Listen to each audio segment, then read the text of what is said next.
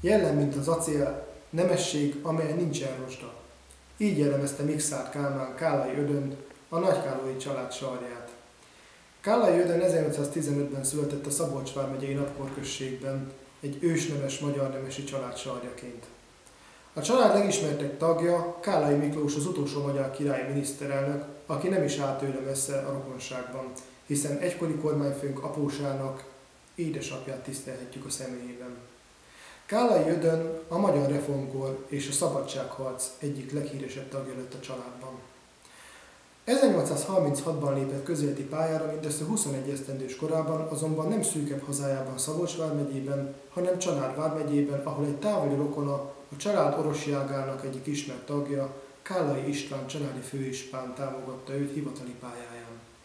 Csak hamar a liberális nemesi ellenzék soraiban találjuk Kálai Ödönt, aki 1843-44-ben a Pozsonyi Országgyűlésen Csanád vármegye követeként volt részt. 1845-ben tér vissza Szabolcs vármegyébe, ahol folytatta közéleti tevékenységét, csak hamar a nádudvari járás főszolgabírája lett.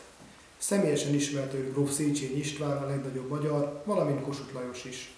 Egy alkalommal Széchenyi Istvánt is elkísérte, amelyet naplóban is feljegyzett ezt a híres útját, amikor a Tisza szabályozásának ügyét intézte a grófa. 1848-49 a forradalmi szabadságharc éve, amely sorsfordító a Kálai Ödön számára is. Ez alatt a szűk két esztendő alatt nagyon komoly tisztségeket töltött be, és a forradalom egyre inkább radikálisabbá válásával ő maga is radikálisabb nézeteket kezdett vallani, ami miatt gróf Széchenyi István őt a Magyar Antonnak is nevezte. 1848-ban több tisztséget is betöltött. Nemzetőrkapitányként kezdte, mellette az első népképviseleti országgyűlés képviselője is volt, majd az év végén Kossuth Lajos kinevezte őt Székesfehérvár, majd Komárom kormánybiztosává.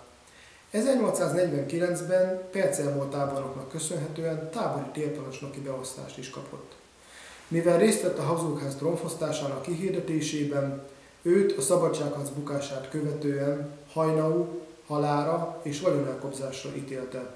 Azonban a nemzetközi nyomásnak eleget téve Hajnau az ítéletet megváltoztatva rendőri megfigyelés alá helyezte őt négy évre, így kegyelemben részesült Kállai Ödem.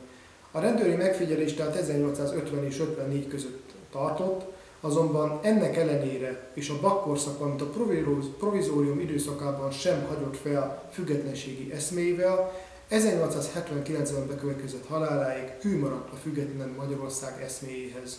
Kállai Ödön az egyik legnagyobb képviselője a nagymúltú Nagy Kállai családnak.